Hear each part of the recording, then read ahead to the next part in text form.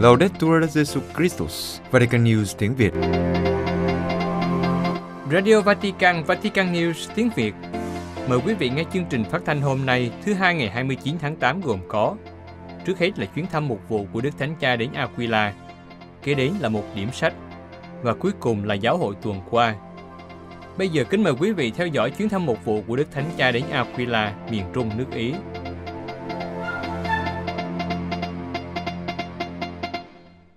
Kính thưa quý thính giả, sáng Chủ nhật ngày 28 tháng 8, Đức Thánh Cha Francisco đã bay đến Aquila, cách Roma hơn 100 cây số, để viếng thăm thành phố này và mở cửa thánh tại Vương cung Thánh đường Colemaggio. Năm 2009, thành phố Aquila đã bị một trận động đất khiến cho 300 người chết và hơn 1.600 người bị thương. Đức Thánh Cha đã khởi hành lúc 8 giờ sáng từ Vatican và đến Aquila sau 25 phút bay bằng trực thăng. Ngài đã có cuộc gặp với các gia đình nạn nhân và giới chức chính quyền thành phố. Sau đó, Ngài đến vương cung thánh đường Colemaggio để dân thánh lễ và sau đó mở cửa thánh. I santi sono una affascinante spiegazione del Vangelo. La loro vita è il punto di vista privilegiato da cui possiamo scorgere la buona notizia che Gesù è venuto a annunciare, e cioè che Dio è nostro Padre e ognuno di noi è amato da Lui. Các thánh là những minh họa sống động của tin mừng. Cuộc đời của họ là điểm quy chiếu đặc biệt, giúp cho chúng ta nhìn ra tin mừng mà Chúa Giêsu đã đến để loan báo. Đó là, Thiên Chúa là cha của chúng ta, và mỗi người chúng ta đều được Thiên Chúa yêu thương. Đây chính là tâm điểm của tin mừng. Chính cuộc nhập thể và dung mạo của Chúa Giêsu là minh chứng hữu hình của tình yêu ấy. Hôm nay chúng ta cử hành thánh lễ trong một ngày đặc biệt của thành phố này và giáo hội nơi đây. Ngày lễ xá giải được thành lập bởi Đức Giáo Hoàng Celestino thứ năm. Nơi đây có lưu giữ thánh tích của vị giáo hoàng này. Ngài là hiện thân tròn đầy của những gì chúng ta nghe trong bài đọc một hôm nay. Càng làm lớn, con càng phải khiêm hạ. Như thế con sẽ được ân nghĩa trước mặt Chúa. Chúng ta thường sai khi nhớ đến Đức Celestino thứ năm như một kẻ từ chối vĩ đại, theo như một kiểu nói trong tác phẩm thần khúc của Dante. Thật ra, Đức Celest thứ năm không phải là kẻ từ chối khi Ngài từ nhiệm ngôi vị giáo hoàng. Ngài không phải là người nói không, nhưng là con người của lời đáp xin vâng. Thật ra, chẳng có cách nào để thực thi thánh ý của Thiên Chúa nếu không phải là khởi đi từ nỗ lực của con người. Không có con đường nào khác. Dưới con mắt của người đời, có những người bị xem là yếu đuối và thất bại, nhưng họ mới là những người chiến thắng thật sự, bởi vì họ là những kẻ cuối cùng đặt trọn vẹn niềm tin vào Thiên Chúa và nhìn nhận thánh ý của người. Thiên Chúa mặc khải những màu nhiệm của người cho những kẻ hiền lành. Người được tôn vinh nơi những người khiêm hạ. Trước tinh thần thế gian nhuốm đầy mùi kiêu căng, lời Chúa hôm nay mời chúng ta trở nên hiền lành và khiêm hạ. Khiêm nhường không có nghĩa là hoàn toàn phủ nhận chính mình, nhưng là nhìn nhận một cách đúng đắn những giá trị của chúng ta, cũng như những thiếu hụt và yếu kém của chúng ta. Khởi đi từ những thiếu hụt yếu kém của mình, sự khiêm hạ dạy cho chúng ta không tập trung vào chính mình, nhưng là hướng mắt về Thiên Chúa, đấng có thể làm mọi sự, là đấng sở hữu trọn vẹn chúng ta, ngay cả khi tự sức của mình chúng ta chẳng thể sở hữu được gì. Mọi sự đều có thể đối với những ai có lòng tin. Sức mạnh của những người khiêm nhường là chính Thiên Chúa, chứ không phải là những chiến thuật, những phương tiện nhân loại theo lẽ khôn ngoan của thế gian này. Theo nghĩa ấy, Đức Celestino thứ năm là một nhân chứng can đảm của tin mừng, một người không để cho mình bị tù hãm hay bị lèo lái bởi những thúc đẩy của quyền lực. Nơi Ngài, chúng ta ngưỡng mộ một giáo hội tự do, được giải phóng khỏi những suy nghĩ kiểu trần thế và là một chứng nhân tròn vẹn cho danh của Thiên Chúa là đấng thương xót. Đây chính là tâm điểm của tin mừng, bởi vì thương xót nghĩa là nhận ra chúng ta là những kẻ được yêu thương ngay chính trong tình trạng khốn cùng của chúng ta. Hai điều này đi với nhau. Không thể hiểu lòng thương xót nếu chúng ta không hiểu được nỗi khốn cùng của chính mình. Là một tín hữu không phải là bước theo một thiên chúa mù mờ và khiến chúng ta sợ hãi. Thư gửi tín hữu Do Thái đã nhắc chúng ta về điều này. Anh em đã chẳng đến gần một điều gì đó có thể sờ thấy được, có lửa đang cháy, có mây mù, có bóng tối, có tiếng kèn vang dậy, có tiếng nói gầm thét, đến độ khiến cho những ai nghe thấy phải van xin Chúa đừng nói với họ nữa. Không, thưa anh chị em, chúng ta đến gần với Chúa Giêsu là con một Thiên Chúa, là lòng thương xót của Chúa Cha, là tình yêu cứu độ chúng ta. Chính người là lòng thương xót, Chỉ với lòng thương xót, chúng ta mới có thể nói về nỗi khốn cùng của mình. Nếu ai muốn đến với lòng thương xót bằng một lối khác, thì người ấy đã lạc đường. Vì vậy, điều quan trọng là hiểu được thực tại của mình.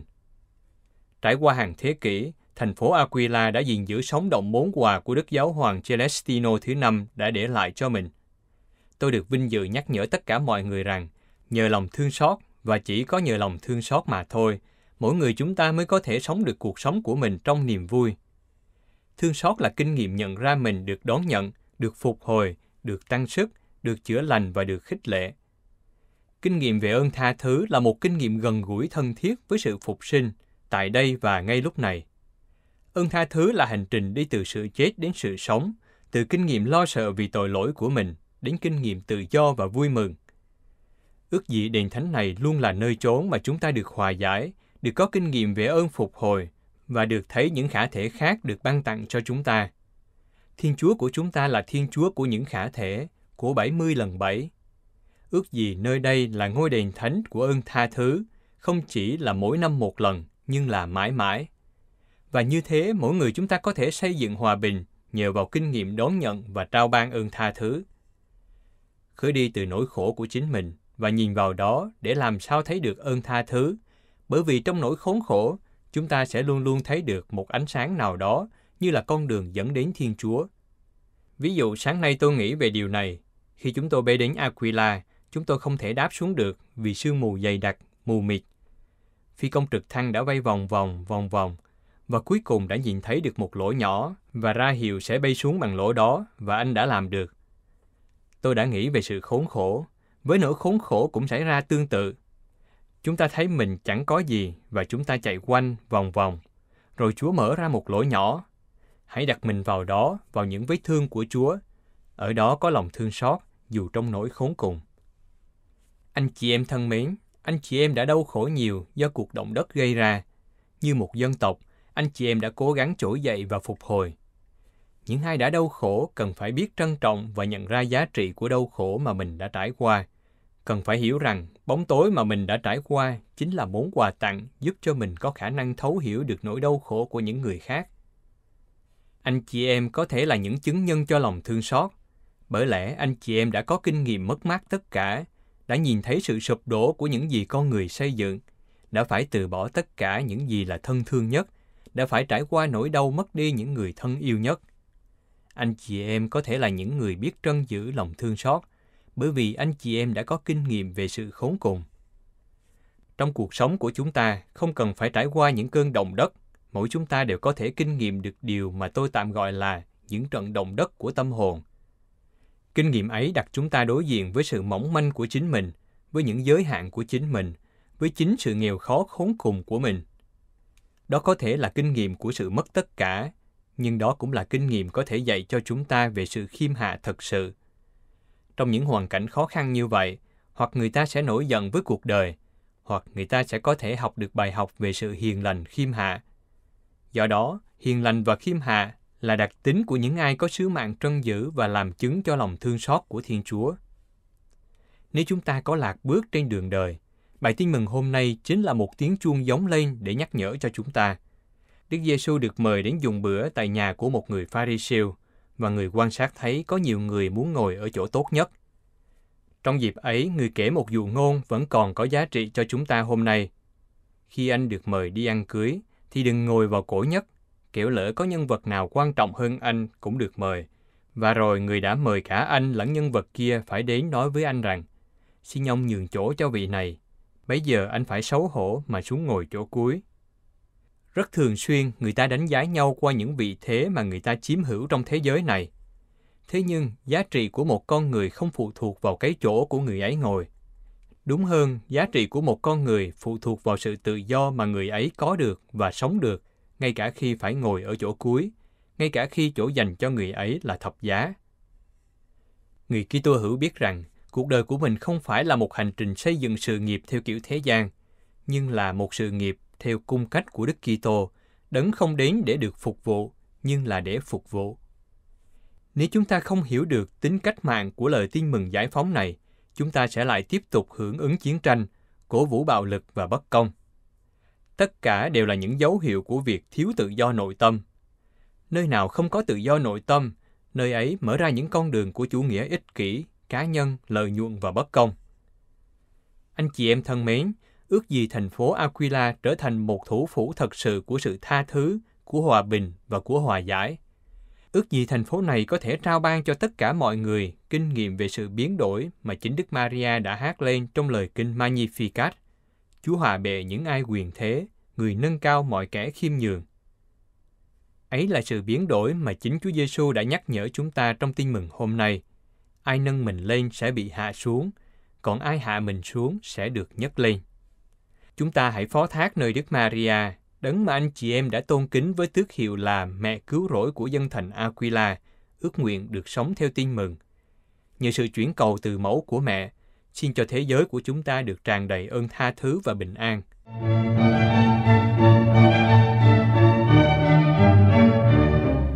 Cuối thánh lễ, Đức Thánh Cha đã chào thăm người dân Aquila hiện diện cũng như tham dự từ xa. Trước khi đọc kinh truyền tiên, Ngài đã đặc biệt nhớ đến người dân Pakistan hiện đang phải vật lộn với những trận lũ lụt khiến cho nhiều người chết, mất tích và bị thương. Ngài kêu gọi tình liên đới của cộng đồng quốc tế để hỗ trợ cho những nạn nhân. Angelus Dominum Salve Maria. Ave Maria, grazia plena, Dominus tecum, benedicta e tui mulieribus benedictus fructus ventris tui, Iesus.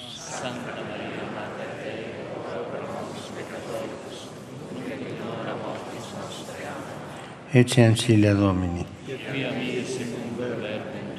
Ave Maria, gratia plena, Dominus tecum, benedicta tui mulieribus et benedictus fructus ventris tui, Iesus.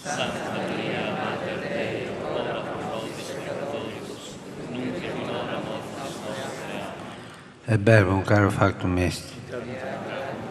Ave Maria, gratia plena, Dominus tecum, Benedicta tú in mulieribus, et benedictus fructus ventris tui, Iesus. Santa María, Madre Dei, ora pro nobis peccatoribus, nunc et in hora mortis nostre. Amen. Ora pro nobis, Santa Dei Genitrix. Benedicat vos, omnipotens Deus, Pater, et Filius, et Spiritus Sanctus. Amen. Sau khi kết thúc thánh lễ, Đức Thánh Cha đã đến cửa thánh của vương cung thánh đường Cole Maggio để làm nghi thức mở cửa thánh. Ngài mở cửa, cầu nguyện và đi qua cửa thánh. Sau đó đoàn đồng tế cũng đi qua cửa thánh và viếng mộ Đức Giáo Hoàng Celestino thứ năm. Cuối buổi cử hành, Đức Thánh Cha đã ra sân vận động Gran Sasso lúc 12 giờ 25 phút trưa để lên trực thăng trở về Vatican.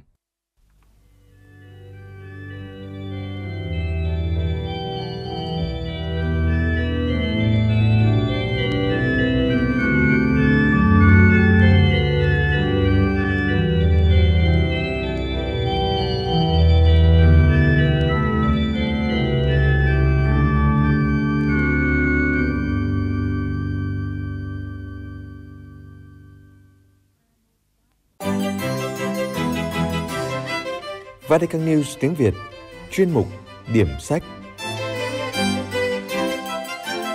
Giới thiệu sách Sẽ sống nếu bạn tin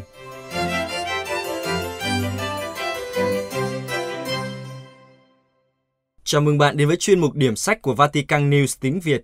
Chuyên mục điểm sách được phát vào thứ hai hàng tuần với mong muốn giới thiệu đến thính giả những tác phẩm công giáo. Chúng tôi hy vọng rằng chuyên mục sẽ mang đến cho bạn những cuốn sách hay và ý nghĩa, hầu giúp thăng tiến đời sống đức tin cũng như cổ võ những giá trị Kitô giáo và nhân văn.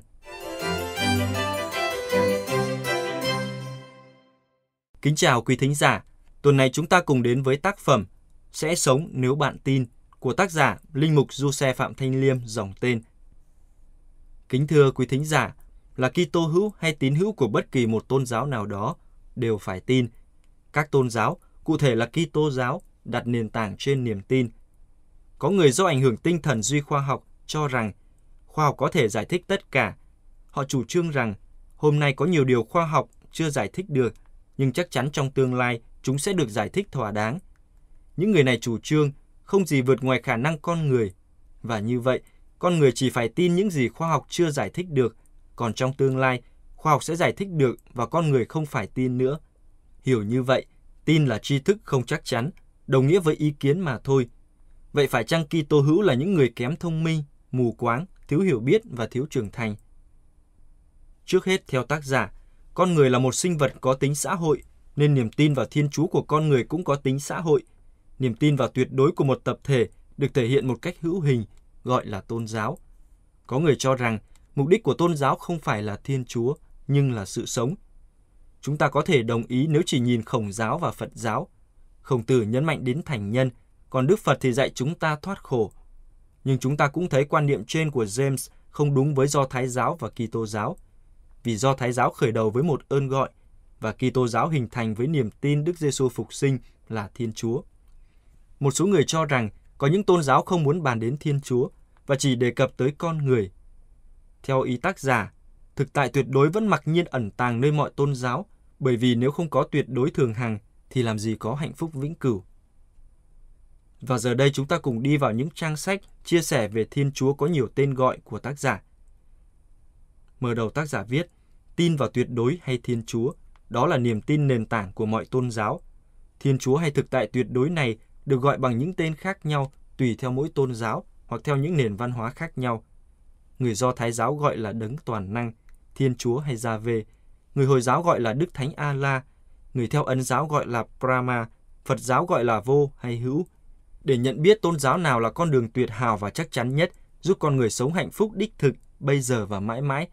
Trên nguyên tắc, chúng ta phải tìm hiểu từng tôn giáo. Nhưng thật may mắn cho chúng ta là những người đang sống trong đạo công giáo. Đạo công giáo là con đường tuyệt hảo, được Thiên Chúa muốn là tôn giáo giúp con người sống hạnh phúc vĩnh cửu với Thiên Chúa. Chúng ta sẽ cùng nhau tìm hiểu để biết chắc chắn điều này trong những trang tiếp theo. Và từ đây, tác giả đề cập đến Thiên Chúa can thiệp trong dòng lịch sử. Trước hết theo tác giả, có những người tin Thiên Chúa, không phải họ nhờ nhìn vào vũ trụ vạn vật rồi siêu vượt gặp gỡ Thiên Chúa, nhưng vì họ đã có kinh nghiệm đặc biệt với Thiên Chúa. Ông tổ dân Do Thái là Abram, Abram đã được nghe tiếng Chúa mời gọi, bỏ quê cha đất tổ để đi tới đất Thiên Chúa sẽ chỉ cho ông. Thiên Chúa hứa sẽ cho ông thành một dân lớn, sẽ chúc lành cho ông và sẽ cho ông trở nên mối chúc lành. Và không chỉ với Abraham, mà cả với con của Abraham là Isaac và với con của Isaac là Jacob, Thiên Chúa vẫn giữ mối tương quan đặc biệt với họ. Và hơn bốn thế kỷ sau khi dân Do Thái vào đất Ai Cập, Thiên Chúa lại chọn Môse để có tương quan đặc biệt với ông. Thiên Chúa đã tỏ mình cho ông qua bụi gai bốc cháy nhưng không tàn trên núi Sinai.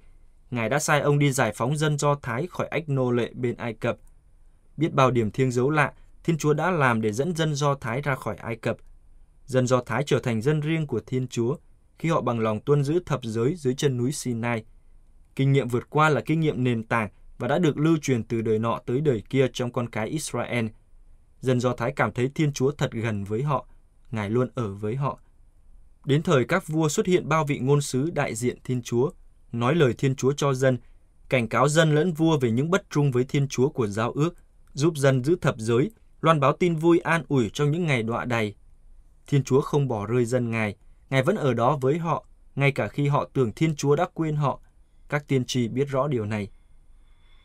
Như vậy, những người có kinh nghiệm trực tiếp với Thiên Chúa như Abraham, Isaac, Jacob, Moses biết Thiên Chúa không phải chỉ bằng tin hay siêu vượt, nhưng còn bằng chính kinh nghiệm sống của họ.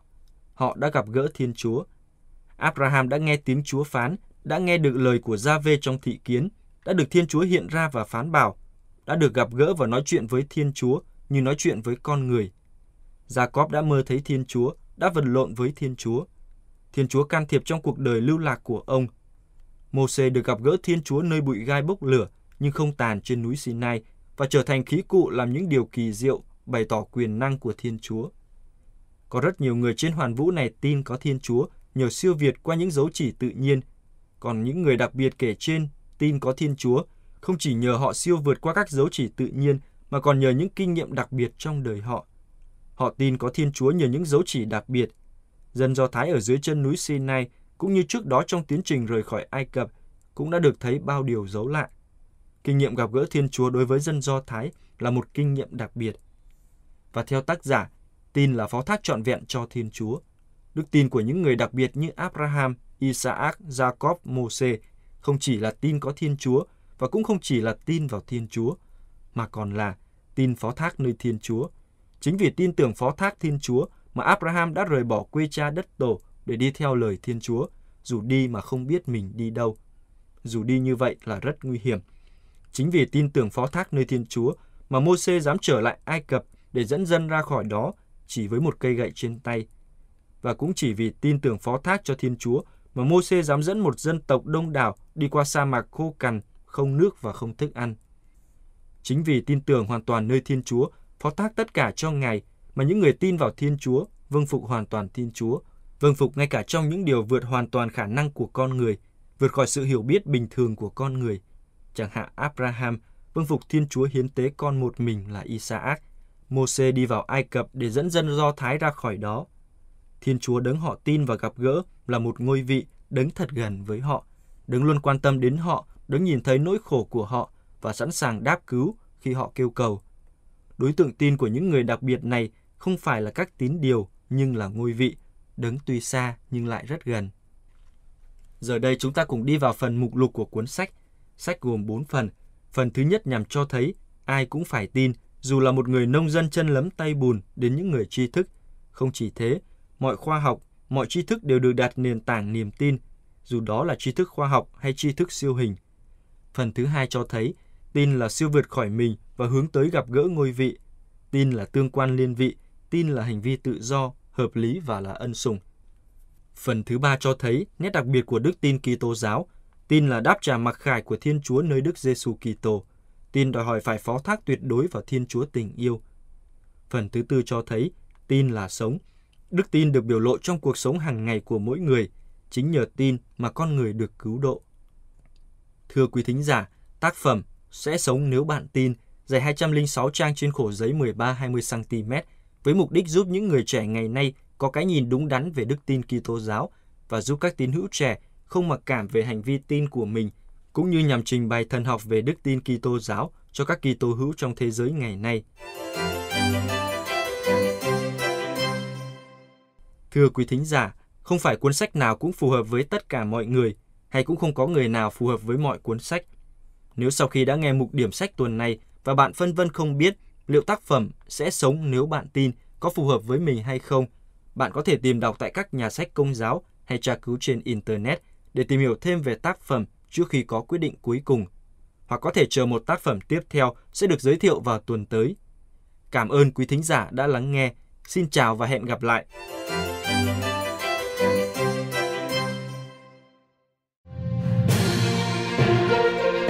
Vatican News tiếng Việt Chuyên mục Giáo hội tuần qua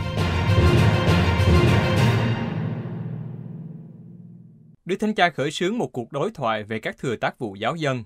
Vatican, trong sứ điệp gửi đến các giám mục, linh mục, phó tế, những người thánh hiến và giáo dân, dịp kỷ niệm 50 năm tông thư Ministeria Quaedam, một số thừa tác vụ của Thánh Giáo Hoàng Phaolô VI, Đức Thánh Cha kêu gọi mở một cuộc đối thoại với các hội đồng giám mục để tiếp tục con đường đã được đề ra cách đây 50 năm.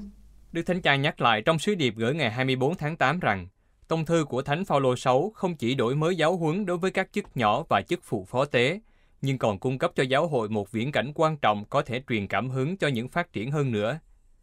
Khả năng phát triển thêm các thừa tác vụ đã được thảo luận trong Thường Hội đồng Giáo mục về Amazon. Sau đó, Đức Thánh Cha đã nói về vấn đề này với hai tông thư. Tông thư thứ nhất Spiritus Domini ban hành ngày 10 tháng 1 năm 2021 cho phép nữ giới nhận thừa tác vụ đọc sách và thừa tác vụ giúp lễ. Tông thư thứ hai Anticum Ministerium ban hành ngày 10 tháng 5 năm 2021 thiết lập thừa tác vụ giáo lý viên. Theo giải thích của Đức Thánh Cha, hai tông thư này không được hiểu là sự vượt qua giáo thuyết trước đó, nhưng là sự phát triển hơn nữa có thể thực hiện được vì nó dựa trên cùng các nguyên tắc, phù hợp với suy tư của công đồng Vaticano thứ hai đã truyền cảm hứng cho Thánh Phaolô VI.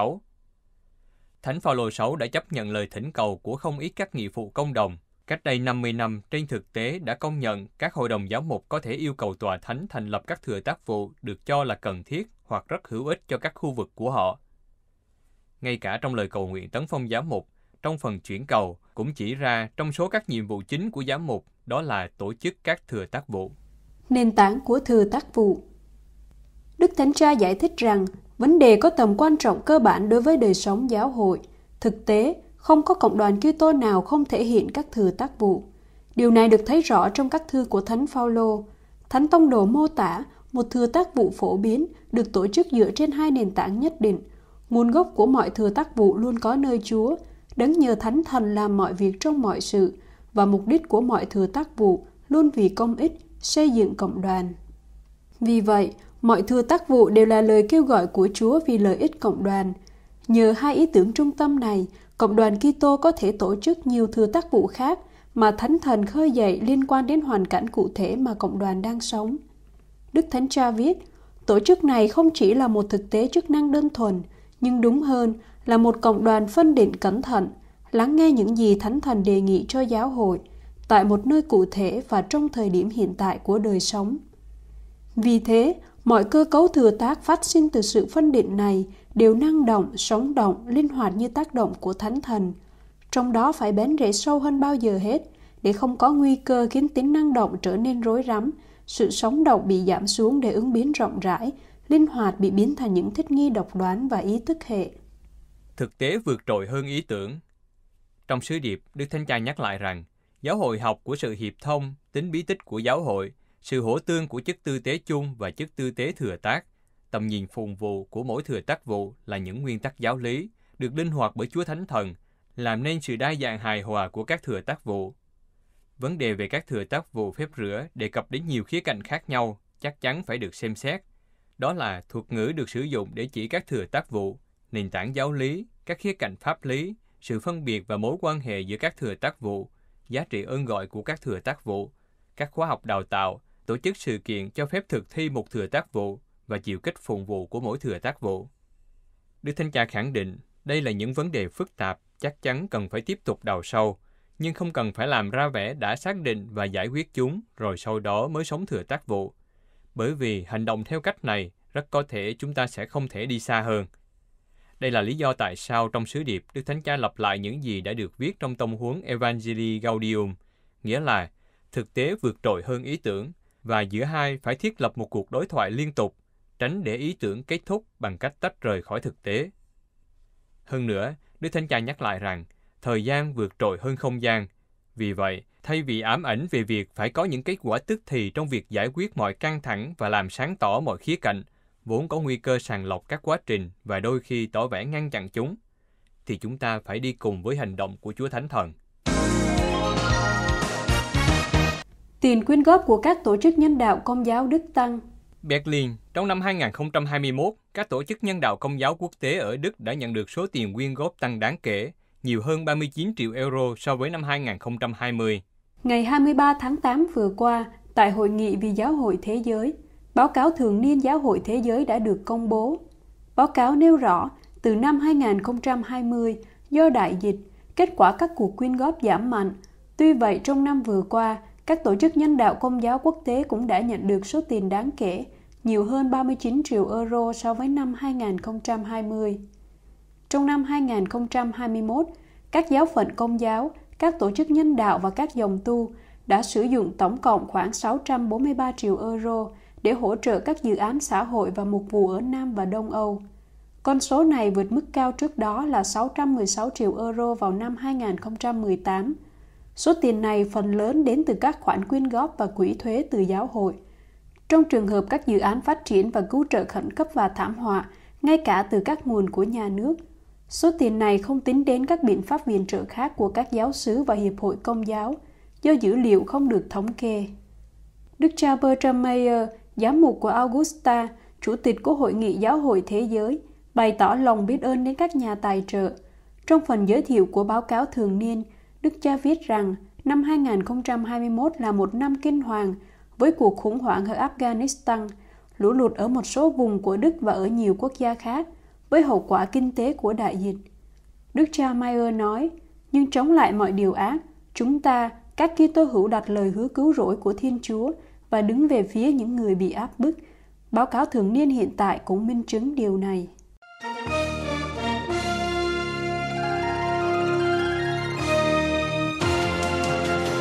Cảm ơn quý vị đã chú ý lắng nghe chương trình Radio Vatican của Vatican News tiếng Việt.